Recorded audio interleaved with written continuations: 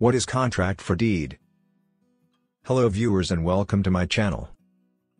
Before starting, support the channel by liking this video and subscribing to this channel for future updates. In this video, we'll go over what a contract for deed is and how it functions. Understanding a deed contract in a real estate transaction, known as a contract for deed, also known as an installment purchase contract, or installment sale agreement, this involves the seller financing the purchase of the property, rather than a third party like a bank, credit union, or other mortgage lender. When a buyer is not eligible for a standard mortgage, it is frequently employed. Instead of getting a mortgage to buy a house, the buyer consents to give the seller monthly payments up front. After the sale is completed, the buyer can move in, but the seller still holds the legal title to the house. Only after the last payment has been received does the buyer become the owner. For many years, family and friend did property purchases and were being financed via contracts for deed. They are also used by some non-profit housing organizations to assist low-income families in locating a route to homeownership. However, some real estate investment firms acquired foreclosed homes during the 2008 financial crisis and then marketed them on contract for deed to buyers with low incomes or those with bad credit who were unable to receive conventional mortgage financing. Although a contract for deed, can occasionally help a buyer who has no other way to become a homeowner, it is a high-risk choice that is vulnerable to exploitation and predatory behavior.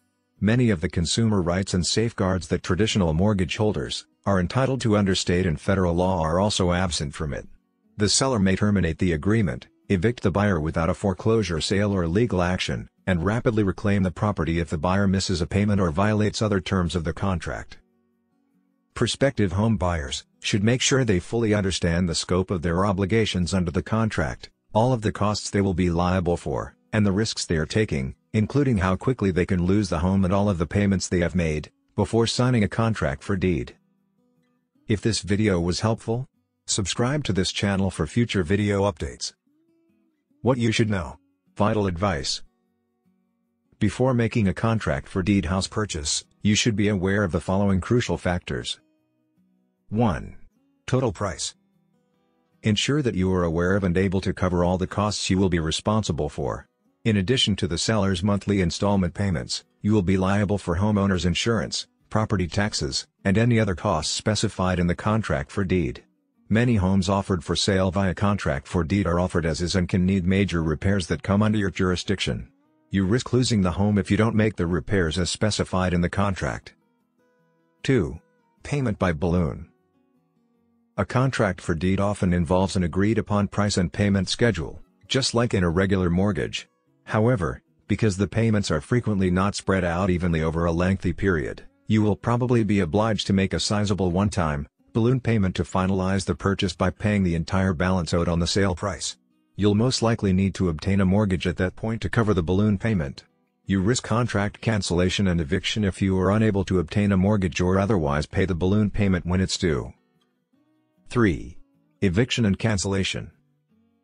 The seller may terminate the contract and start an eviction case against you, in just 60 days if you miss even one payment, and if you are unable to make the balloon payment, or fail to comply with any other terms of the contract for deed.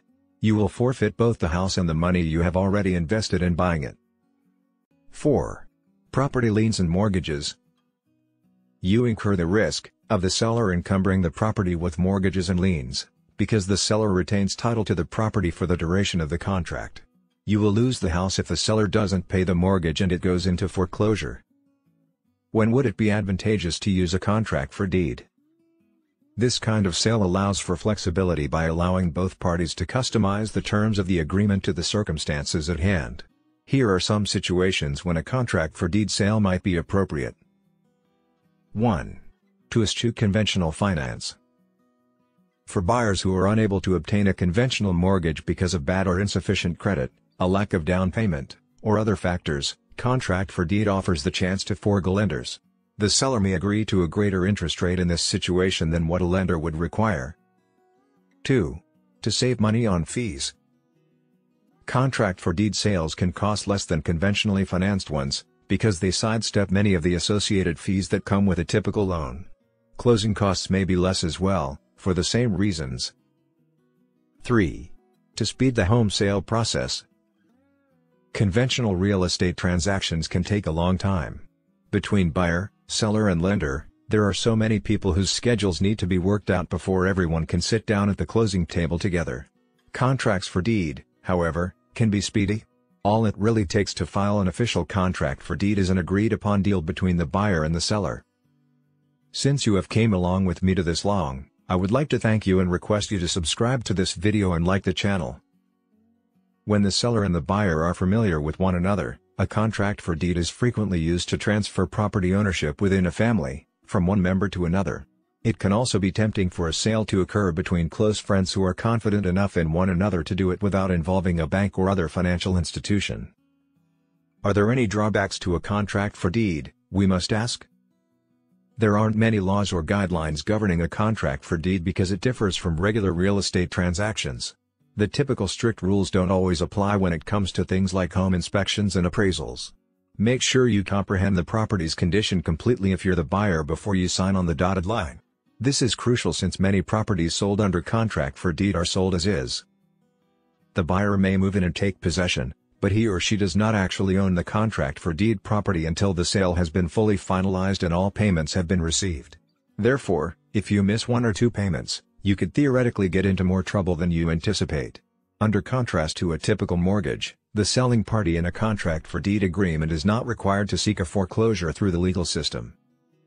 A balloon payment is frequently included in a contract for deed sale at some point during the payment plan, usually near the end. To avoid having their ability to meet the payment schedule jeopardized by the significant increase in amount, buyers must be aware of this and adequately prepared for it. Recording the deed of contract you must register the contract for deed in the county where the property is located with the office of the county recorder or registrar of titles within four months of signing it. If you don't, you risk paying a fee. The contract's recording will also assist in demonstrating your ownership of the property and safeguard you against encumbrances the seller may impose on the property after the contract has been signed. Tell us in the comments section below. And if you have any questions, or suggestions then feel free to mention them in the comment section and we will surely respond to your request.